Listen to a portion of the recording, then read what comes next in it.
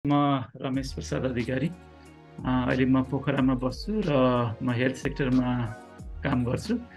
र मैले जब फेसबुकमा यो एड देखेँ र कम्युनिकेट गरेँ त्यसपछि म सँग बुक विस क्लबसँग म जोडिन पुगेँ।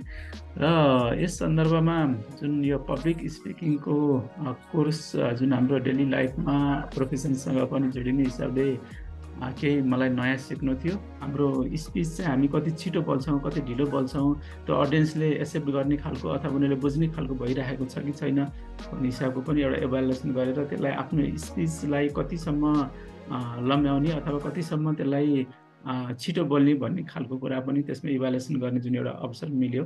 जुन एउटा फिडब्याक पनि यसमा रह्यो।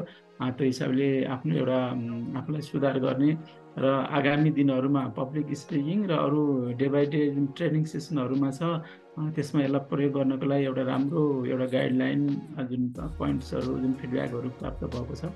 यो रियल्ली मलाई मेरो बाँकी प्रोफेसनमा समेत यसले एउटा सुधार गर्ने खालको जो जुन इन्फर्मेसनहरू मैले पाएको छु उहाँको जुन एउटा लर्निङ यसलाई हामीलाई सिकाउने पनि विभिन्न तरिकाहरू हुन्छ। एउटा भनाइ पनि छ सबै विद्वानहरू टिचर हुन सक्दैनन् प्रशिक्षक हुन सक्दैनन् भन्ने छ र विद्वत नलेज सबैसँग हुनसक्छ तर त्यसलाई way of presentation way of लर्निङमा कसरी लाने भन्ने खालको कुराहरू हुन्छ।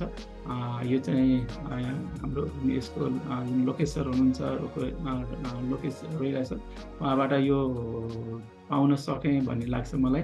किनभने उहाँको एकदम नजिकबाट पार्टिसिपेन्टलाई हेर्ने जुन एकदम त्यो एउटा हार्मोनी डेभलप गर्ने जुन पर्सनल रिलेसनसिप डेभलप गर्ने जुन एउटा त्यो उहाँसँग स्किल रहेछ त्यसले एकदम नजिकबाट हामीलाई एउटा टु वे कम्युनिकेसन एउटा इन्टरपर्सनल कम्युनिकेसनको हिसाबले बढी नजिकमा चाहिँ त्यो छलफल गर्न पाएँ र मलाई लाग्थ्यो यो क्लास फर्मल सेटिङ हो भन्दा हामी इन्फर्मल रूपमा एकदम डिस्कसन गरिरहेको छौँ एउटा आत्मीय हिसाबले त्यो छलफल गरेका थियौँ भन्ने लाग्थ्यो। त्यसले गर्दा पनि लर्निङलाई धेरै प्रभाव पारेको छ।